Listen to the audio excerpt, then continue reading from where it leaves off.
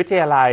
แพทยศาสตร์ศรีสว่างควัตราชวิทยาลัยจุฬาภรณ์ได้เดินหน้าสร้างเสริมทักษะความรู้ ด้านการดูแลสุขภาพให้กับคนในชุมชนนะครับเพื่อต้องการที่จะสร้างชุมชนต้นแบบด้านการดูแลสุขภาพอย่างยั่งยืน ตามโครงการอาสาจุฬาภรณ์ครับวันนี้ทางด้านนายแพทย์วิสุทธ์ล้ำเลิศทนรักษาการรองคณบดีวิทยาลัยแพทยศาสตร์ศรีสว่างควัตราชวิทยาลัยจุฬาภรณ์และประธานโครงการอาสาจุฬาภรณ์ได้บอกกับผู้สื่อข่าวนะครับ ว่าโครงการอาสาจุฬาภรณ์เป็นโครงการภายใต้พระปณิธานของสมเด็จพระเจ้าน้องนางเธอ เจ้าฟ้าจุฬาภรณ์วลัยลักษณ์อัครราชกุมารี กรมพระศรีสว่างควัตวรคัตยราชนารี ที่ทรงมุ่งหวังให้ประชาชนคนไทยทุกคนได้รับบริการทางการแพทย์ และการสาธารณสุขที่ได้มาตรฐานอย่างเท่าเทียมกันไม่มีความเหลื่อมล้ำซึ่งทาง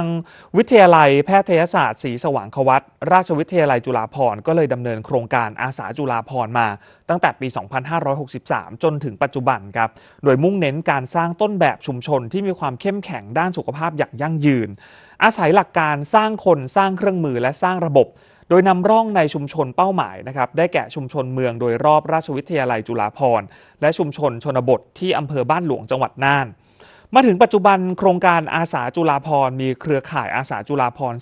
363 คนแล้ว ประกอบด้วยอาสาสมัครจุฬาภรชุมชนเมือง อาสาสมัครจุฬาภรชนบท และอีก 34 คนเป็นนักศึกษาแพทย์ วิทยาลัยศรีสว่างควัตซึ่งได้เข้าร่วมกิจกรรมฝึกอบรมความรู้ด้านสุขภาพทั้งภาคทฤษฎีและภาคปฏิบัติ รวมถึงการวิจัยชุมชนครับทั้งนี้ประชาชนทั่วไปก็สามารถที่จะเข้าร่วมได้นะครับ ท่านที่สนใจจะเสริมทักษะทางด้านการดูแลสุขภาพ ก็สามารถที่จะนำความรู้ไปดูแลสุขภาพตนเอง ดูแลคนในครอบครัวไปจนถึงคนในชุมชน